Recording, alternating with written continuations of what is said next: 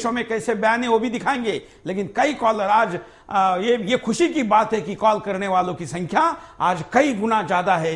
लोग इच्छा तो व्यक्त कर रहे हैं प्रत्यक्ष बाज़ार पर इसका परिणाम हम देखना चाहते हैं। अगले कॉलर नमस्कार। जैन सर सुशील गुप्ता जयपुर से। बोलिए। मैं ये कहना चाहूँगा साहब कि आज चीन के प्रति हमारा समाज और सरकार दोनों ही गंभीर नहीं है। यदि हमारा समाज चीन के उत्पादों को खरीदना बंद कर देता है तो चीन आर्थिक रूप से कमज़ोर हो जाएगा और उसको हथियार बनाने के लिए उसके पास पैसा नहीं होगा। और पैसा नहीं होगा तो हमारे देश के अंदर व्यापार नहीं कर सकता वो और हमारे देश की सीमा के अंदर भी नहीं घुस सकता। सबसे पहले हमारे को इससे व्यापारिक संबंध खत्म करने होंगे। हमारे को चीनी उत्पाद का बहिष्कार करना पड़ेगा। ये देखने में आया है कि शुरू में भी हमारे देश के अंदर सर्वप्रथम ईस्ट इंडिया व्यापार करने की दृष्टि से आई थी। और देश को आर्थिक रूप से कमज़ोर करके उसके बाद देश के ऊपर सत्ता सत्ता पर काबिज हो गई थी। इसलिए हमारे को समाज को अपना कार्य करना चाहिए चीन के उत्पादों का बहिष्कार करना चाहिए तथा सरकार को अपना कार्य करना चाहिए कि जो हमारी सीमा के अंदर घुस करके आए हैं उनको कड़ा जवाब देवे और उनको खदेड़ करके देश की सीमा से बाहर करे। जय हिंद सर। जय हिंद। अगले कॉलर के पास चलते हैं। नमस्कार बोलिए। सर इंडिया चाइना को जवाब नहीं दे सकता है? क्या कहना है आपको? हमारा जितना भी हथियार है बक्से में बंद करके रखनी चाहिए। तो इंडिया जवाब देंगे चाइना को। चलिए हम दूसरे कॉलर के पास चलते हम कहेंगे कि अच्छी बैंडविथ के साथ कॉल करें तो अच्छा होगा। अगले कॉलर नमस्कार। हाँ हेलो सर बोलिए क्या कहना है आपको? मैं सुनील अरोरा बोल रहा हूँ। कॉलर से हमारा संपर्क टूट गया है। हम आपको पैकेज दिखाते हैं कि दूसरे देशों में कैसे कहाँ कहाँ क्या बयान चाइना के प्रोडक्ट पर है। दोस्तों आज चीन के सस्ते और निम्न स्तरीय उत्पादों ने भारतीय बाज़ार पर कब्जा कर लिया है। ये न सिर्फ़ हमारी अर्थव्यवस्था को गुलाम बना रहे हैं बल्कि हमें और हमारे वातावरण को बीमारियों का घर बना रहे हैं। इन्हीं हानिकारक उत्पादों को बेचकर चीन अपने आप को मज़बूत कर रहा है। चीन की मज़बूत सेना हर ओर से भारत को घेर रही है। भारतीय सीमा पर अतिक्रमण कर रही है। दुनिया के कई देशों ने चीनी उत्पाद को बैन कर दिया है, मगर हमारी सरकार चीनी उत्पादों को बढ़ावा दे रही है। भारत और चीन के व्यापार में काफ़ी अंतर है। चीन के आयात के मुकाबले हमारा निर्यात 10 फ़ीसदी भी नहीं है। भारतीय व्यापारी चीन से आए उत्पादों पर 160 फ़ीसदी से 600 फ़ीसदी तक मुनाफा कमा रहे हैं। ऐसे में सवाल उठता है कि क्या हमारी सरकार और व्यापारियों को केवल मुनाफा ही दिखता है? क्या देश हित यहाँ कोई मायने नहीं रखता? क्या हमारे बच्चों का स्वास्थ्य हमारे लिए कोई मायने नहीं रखता? लेकिन दूसरे देश इससे सतर्क हो गए हैं। न्यूजीलैंड के वैज्ञानिकों ने कपड़ों में प्रयोग होने वाले केमिकल फॉर्मेल्डिहाइड की मात्रा 900 गुना अधिक पाई। जो शरीर के लिए घातक है। इसके बाद न्यूजीलैंड ने चीनी कपड़ों को बैन कर दिया। यूरोप और अमेरिका ने चीनी उत्पादों के लिए अपनी नियामक प्रणाली में काफ़ी बदलाव किए हैं।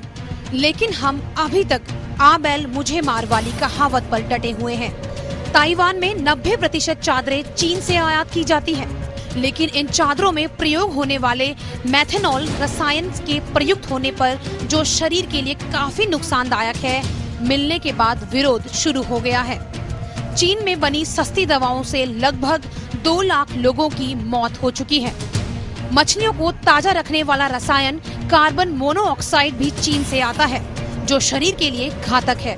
चीन के उत्पादों की जाँच करने वाली संस्था ने बताया है कि चीन का हर पांचवा उत्पाद शरीर और वातावरण के लिए हानिकारक है। ये खबर आने के बाद एक नामी कंपनी ने अपने पंद्रह हज़ार चीनी खिलौनों को बाज़ार से वापस ले लिया है।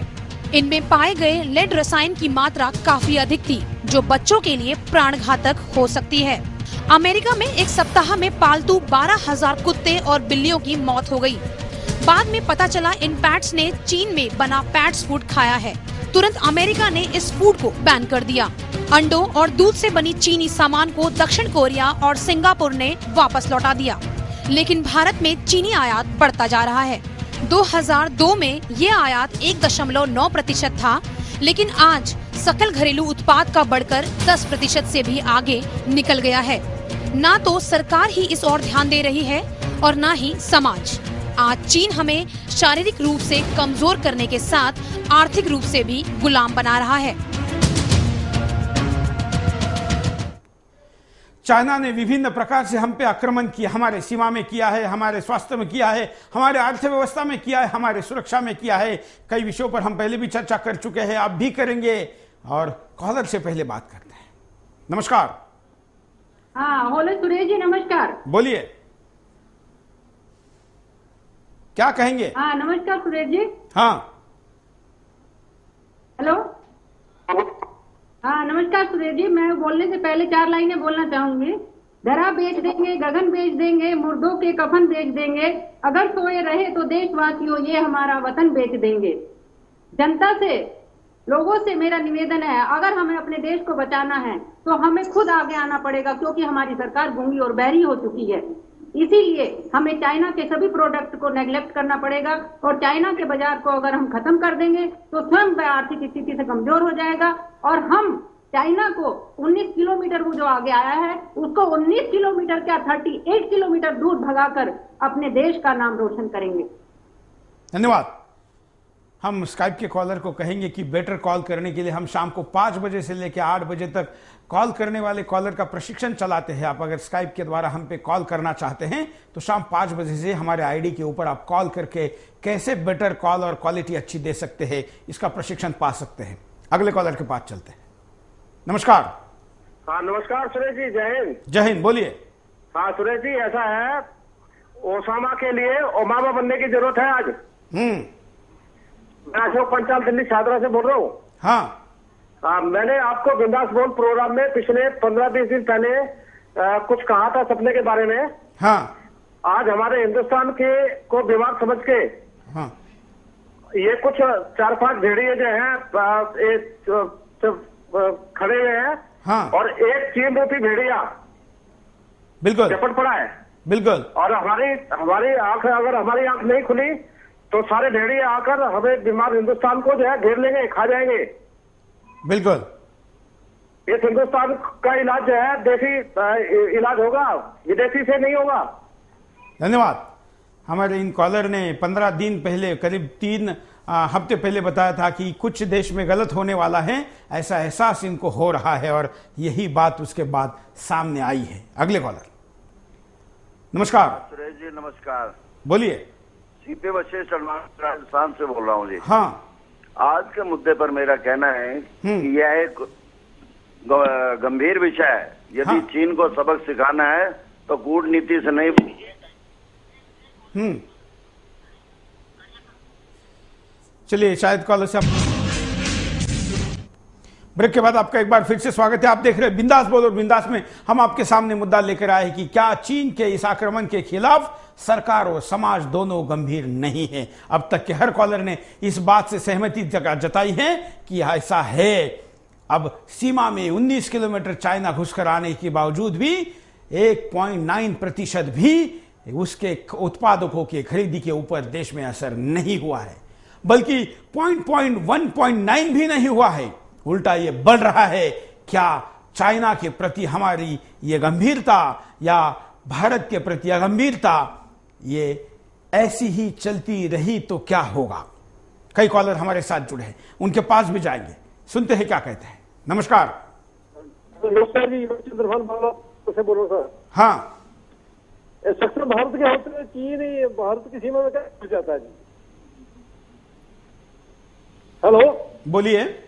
सक्षम भारत के होते हुए ये चीन की चीन भारत की सीमा में कैसे घुस जाता है? कि भारत में इतना सक्षम नहीं कि इनको इनको तुरंत भारत खा सकते हैं। धन्यवाद हम अगले कॉलर के पास चलते हैं।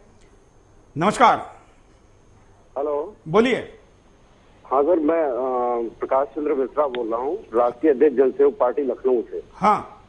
आज चाइना के ऊपर हम लोगों ने प्रोग्राम भी किया है और लखनऊ की जनता से अपील किया है हम्म। कि आप लोग जो है चीनी प्रोडक्ट को ना लें और इस कार्यक्रम में हम लोगों ने मार्च भी निकाला विधानसभा पे चाइना का पुतला भी फूका गया है। वाह। और साथ ही साथ हम लोगों ने जो है वो आगामी सात और आठ तारीख को हम लोग लखनऊ में चाइना का सारा सामान इकट्ठा करेंगे और विधानसभा पे जिस तरह से गांधी जी ने विदेशी वस्तुओं का बहिष्कार किया था उसी तरह से हम लोग भी उसकी होली जलाएँगे। तो सारे देशवासियों से अपील है कि वो चाइना का प्रोडक्ट इस्तेमाल करना छोड़ दें। चाइना खुद ब खुद कमज़ोर हो जाएगा। और साथ ही साथ जनसेवक पार्टी की यह भी अपील है अ, सारे पॉलिटिकल पार्टी से कि वो कांग्रेस जैसे ढुलमुल रवैया अपनाने वाली पार्टी से तुरंत समर्थन वापस ले लें। धन्यवाद। ये अच्छा एक अभियान है और देश में ऐसे कोने कोने में चल रहे, शुरू हो रहे कुछ कुछ अभियान ये बड़े रूप में शुरू हो, यही आज के बिंदास बोल का उद्देश्य है। ऐसे सारे खबरों को हम प्राथमिकता देंगे और आपके इस कृत्य को, आपके इस कार्रवाई को, आपके इस चाइना के खिलाफ के युद्ध को हम ज़रूर प्रसिद्धि देंगे। हम तक ऐसे विषयों के लिए आप संपर्क कर सकते हैं और ऐसे सामानों की सूची से लेके कई चीज़ें हम सुदर्शन टीवी डॉट कॉम पर भी आपके लिए जानकारी के रूप में डाल रहे हैं। हमारे फेसबुक आईडी सुदर्शन न्यूज़ पर भी आपको इस विषय में काफ़ी जानकारी हम उपलब्ध करा रहे हैं और आज से इस बाइकआउट चाइना के कैंपेन को सवा सौ करोड़ लोगों के अभियान में तब्दील करने के लिए आज हम ये बिंदास बोल कर रहे हैं। अगले कॉलर नमस्कार। बोलिए। चौहान साहब, मैं ग्वालियर से मनीष सोनी बोल रहा हूँ और चीन के सामान के बहिष्कार की बात है तो चीन का सामान का बहिष्कार तो हमें व्यक्तिगत तौर पे तो करना ही चाहिए, साथ में सरकार के ऊपर भी दबाव बनाना चाहिए कि इन सामान को अवैध घोषित किया जाए। और अवैध घोषित अवैध घोषित करने से दो फ़ायदे रहेंगे। एक तो सरकार को इस बात का भी दबाव रहेगा कि चीन का सामान बिल्कुल ना आ पाए और दूसरा जो लोग बिना बिल के चाइना का सामान भेज रहे हैं मुआवजे के तौर पे उन्हें बिल प्रस्तुत करना पड़ेगा। सरकार का टैक्सेशन भी बढ़ेगा और चाइना के ऊपर दबाव भी बढ़ेगा कि उसका माल अवैध घोषित हो चुका है तो इंडिया का बहुत बड़ा बाज़ार उसके हाथ से जाएगा तो इस तरह की हरकत करने से वो बाज आएगा। तो दोनों तरफ़ से ऊपर दबाव बनाना पड़ेगा न सिर्फ़ हमें बहिष्कार भी करना पड़ेगा साथ में सरकार को चीनी माल को भी एक बार में अवैध घोषित करना पड़ेगा ताकि एक साथ झटका पड़े उसके बाद में। बहिष्कार करने पे अगले